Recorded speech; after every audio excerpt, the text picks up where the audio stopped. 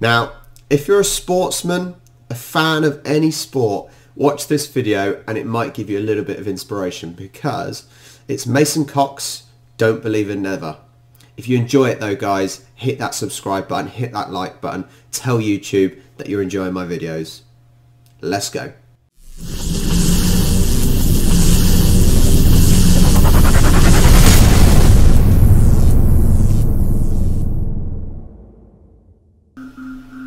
Mason came to us, no American player had ever played a senior game of AFL footy. It's a one in whatever you want to call it because no one had ever done it.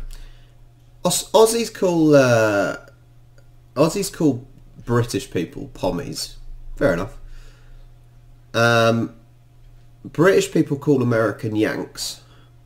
Do, do Aussies also call Americans Yanks? Let me know. Mason Cox, redshirt senior from Island Village, Texas. He's only played six minutes all year. I went to Oklahoma State University. So I started out playing basketball when I was a freshman.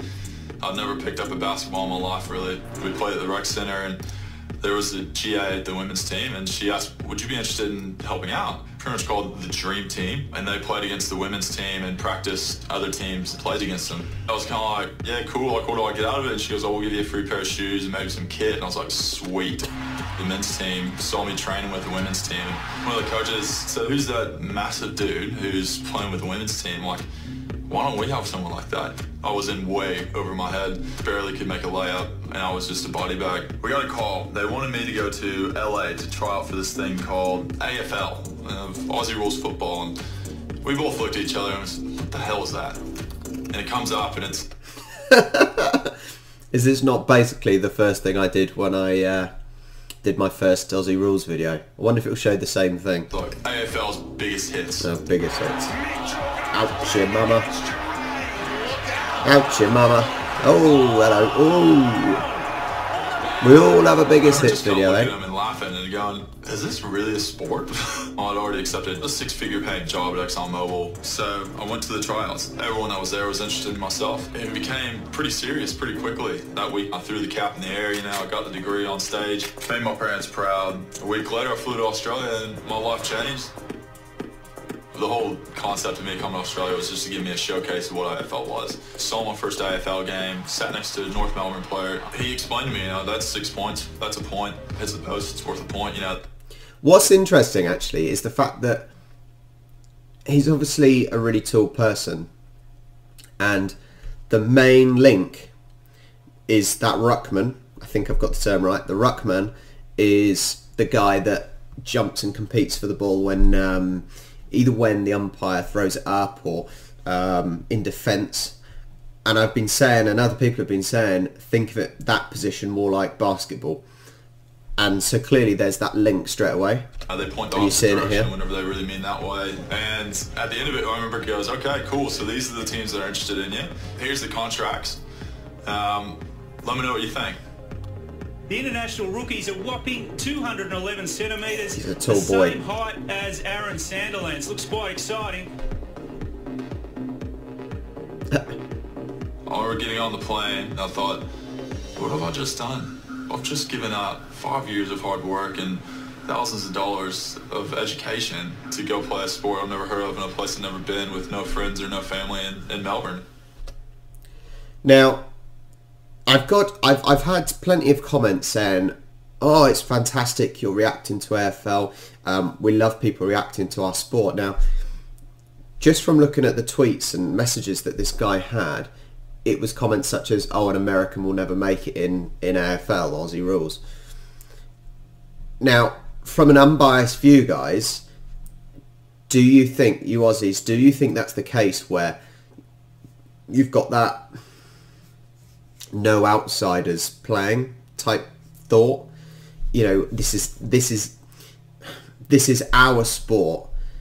We don't want outsiders. Is that a, is that the case? You know, would you guys be happy to have have English people playing? You know, in your teams. Now, this is a question. It's a discussion. It's not. Um, oh, all, all Aussies don't you know hate foreigners. That's not the point I'm making at all. What I'm saying is, is the culture accepting um, of, of outsiders, I suppose, playing the game.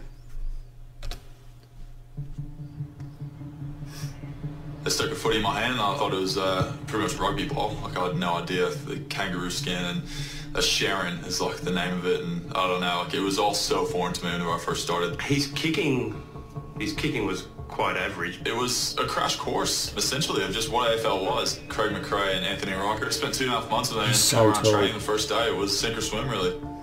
We do this one drill and you get a handball off to the coach and of course Bucks is the one who you're handballing to. Go to handball to him. And I just remember looking at it, I looked back and going, okay, we've got a bit of work to do here. I like locked eyes for a second and I could just see in my mind just what have we recruited? Players generally got a lot going on, but Mason's still trying to work out this new game, whether he fits, if he fits. Am I embarrassing myself? But at the end of the year I got to the point where I was thinking I might actually feel comfortable in an AFL game. Bucks was the first one to tell me.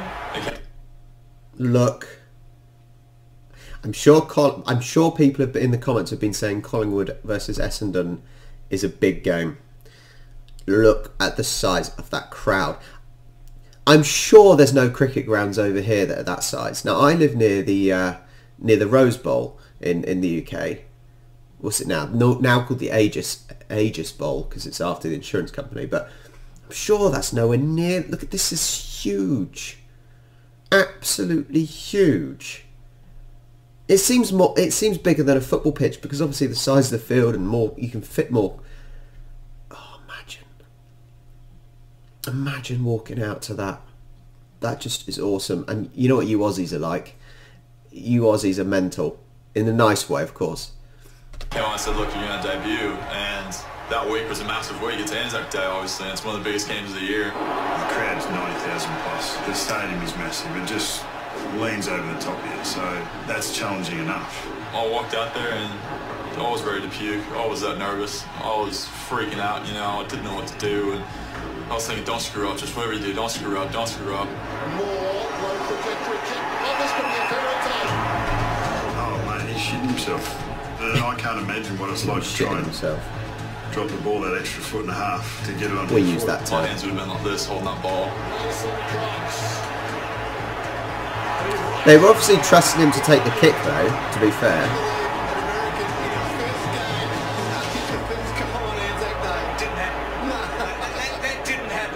Not that we needed to keep him grounded, but it was our job to keep him grounded. Stands in the MCG to steady this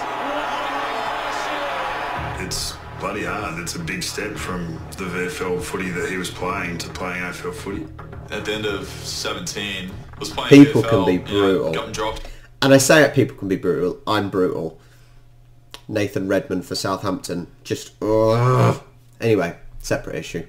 A few times we were playing small. He had to set, him, to set himself a new goal of being one of the best forwards in the competition. Saturday night football at the Coliseum.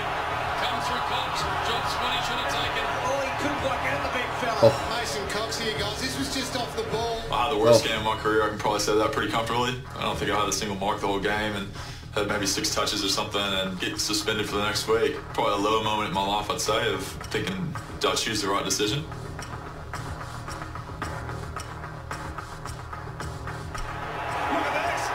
Brutal. He plays on. He's gone. absolute brutal. Whatever Mason Cox can do as a permanent forward, I suspect Ben Reid can do better.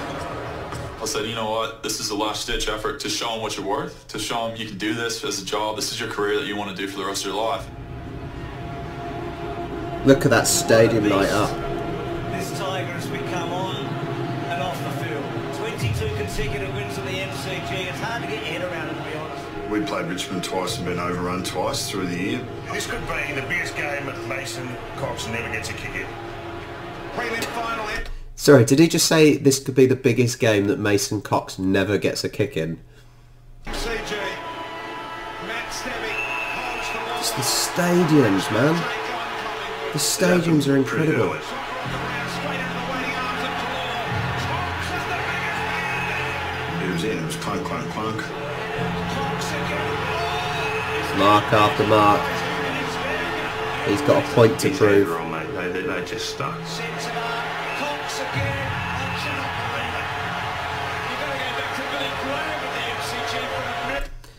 Another point fans are so fickle in all sports. In all sports that fans are passionate about.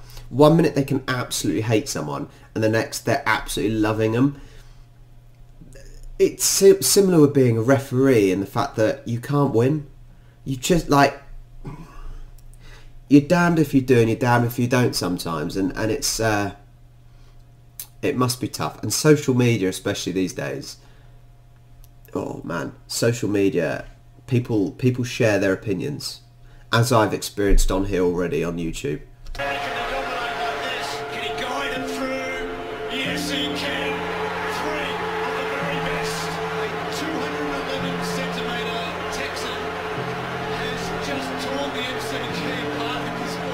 Sport and done it in a primary final. Wow. Could you have pictured that four years, five years earlier with the guy that handballed over the top of my head? Um, definitely not. And Collingwood will go into the 2018 Grand Final. Famous victory on the back of this man here.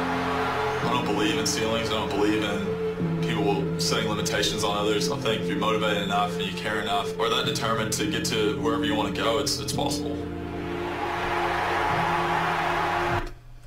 I think I think this is a story of well, for starters, he, he ventured into an, the unknown, bravery straight away because it's it's it's easier to it's easier to stick to what you know.